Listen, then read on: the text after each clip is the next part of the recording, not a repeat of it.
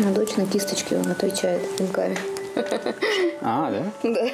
Ну вот, это уже пошел, вернее, пошел процесс Пинками, толчками, главное неравнодушно, воспринимает искусство дочка Анастасии Прохоровой. Крошка находится еще в животе, но на прикосновение кисти отзывается. Ее мама сегодня на сеансе боди-арта. И первый опыт общения с великими живописцами малышка получит от картины Ван Гога «Звездная ночь».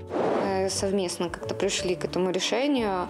А, Решили немножечко отойти от детской тематики совсем, а наоборот воплотить что-то интересное, творческое и более глубокое по смыслу.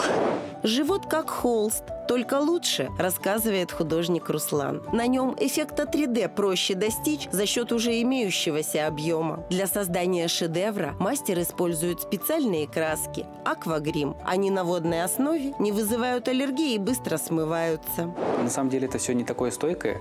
Можно, конечно, зафиксировать, там есть способы, типа там побрызгать лаком для волос, например, он тоже какое-то время будет держать. Но это просто для того, чтобы добраться до дома, допустим, показать своему любимому или там другим родственникам, типа, вот смотрите, какая у меня красота, и все, и, собственно, можно уже смывать.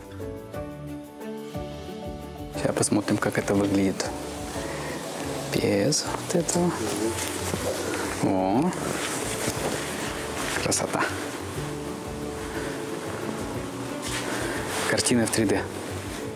Удивление родных и красивые необычные фото – не единственная причина создавать боди-арт будущим мамам. Считается, что благодаря таким сеансам ребенок становится более творческим. Так, например, у самого Руслана младшая дочь в год встала за мольберт. Во время беременности своей жены художник тоже разрисовывал ей живот.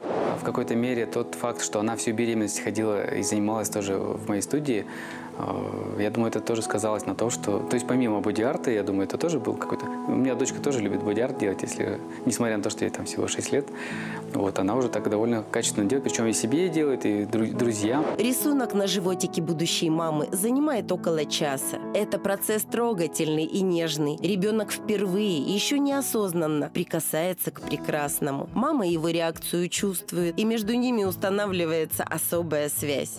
Это моя первая беременность, и интересно экспериментировать, э, что-то пробовать, и хочется, чтобы каждый день был праздник, э, и никакие там затекания рук, отеки и так далее не мешали такому чудесному периоду.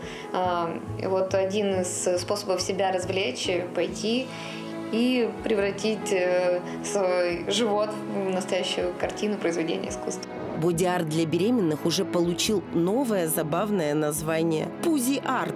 И это отличная возможность не только пообщаться с малышом, но и весело провести свой досуг. Алла Варикова, Анастасия Кныш, Георгий Крысанков, ОТВ.